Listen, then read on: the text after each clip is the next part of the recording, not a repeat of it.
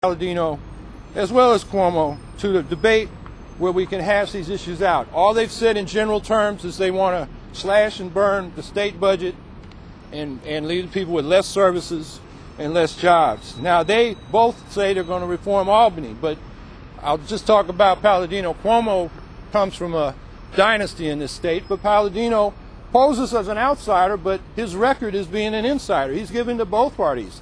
I wonder how the Tea Party feels about the fact that he's given big contributions to Al Gore and John Kerry and Hillary Clinton and your local Democratic congresspeople, Louise Slaughter and uh, Brian Higgins, as well as Chuck Schumer, as well as a lot of Republicans. He plays the inside game like the fat cats do. They give to both sides. So no matter whose side wins, they win.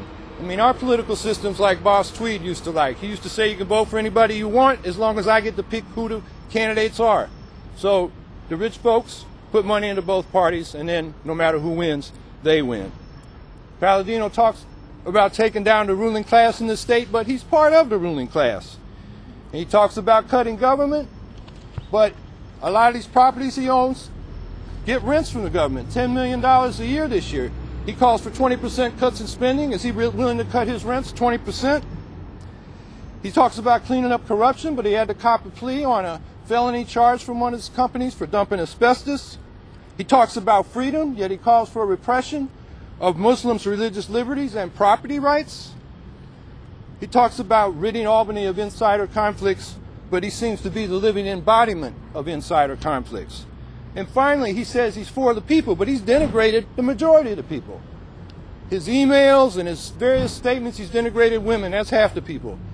Ethnic minorities, people of color, that's one third of the people in New York. Immigrants, that's another one third of the people of New York. Poor people, one in six people in this state are surviving on food stamps to put food on the table. Union members, that's one quarter of the workers in the state. I don't know how many people are left to vote for Carl Paladino. And if those people find out what he's been saying about him, he'll be lucky to come in second place. So with that, I'd be happy to take any questions.